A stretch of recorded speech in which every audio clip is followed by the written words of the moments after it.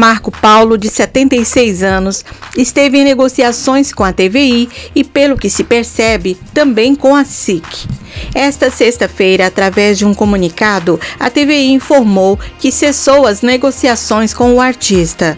A estação de Queluz de Baixo afirmou que foi o cantor Marco Paulo que, por sua iniciativa, abordou a TVI no sentido de se disponibilizar para uma eventual colaboração com o canal.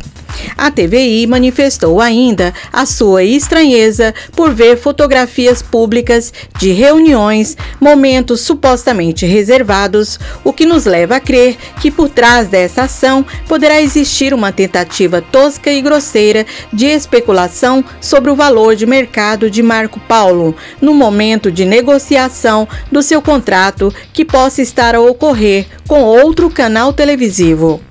Por isso, desejam muita sorte ao cantor, reafirmando que não existe qualquer interesse, nem no presente, nem no futuro, da parte da TVI na sua contratação e eventual colaboração com o canal, evitando assim a continuidade de notícias meramente especulativas, lesivas e falsas.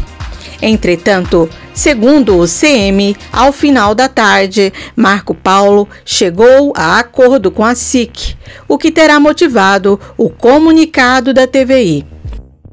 O artista de 76 anos e a estação de Passo de Arcos dão início a uma parceria de longa duração. No âmbito deste acordo, será produzida uma série de televisão sobre a vida do artista. Estão previstas participações especiais e regulares de Marco Paulo nos diversos programas da SIC, já a partir deste mês de maio, e estreará ainda em 2021 um programa na SIC e SIC Internacional, do qual será o rosto. Marco Paulo faz parte do patrimônio afetivo dos portugueses. É um ídolo da música nacional há várias gerações. Tem uma carreira que fala por si e é dotado de uma voz ímpar. Com este passo, a SIC pretende continuar a consolidar o vínculo com a cultura popular portuguesa, valorizando os artistas nacionais e oferecendo conteúdos relevantes e surpreendentes aos nossos espectadores disse Daniel Oliveira, diretor-geral de entretenimento do grupo Empresa, no comunicado enviado às redações. Marco Paulo estará na quinta-feira no programa Casa Feliz.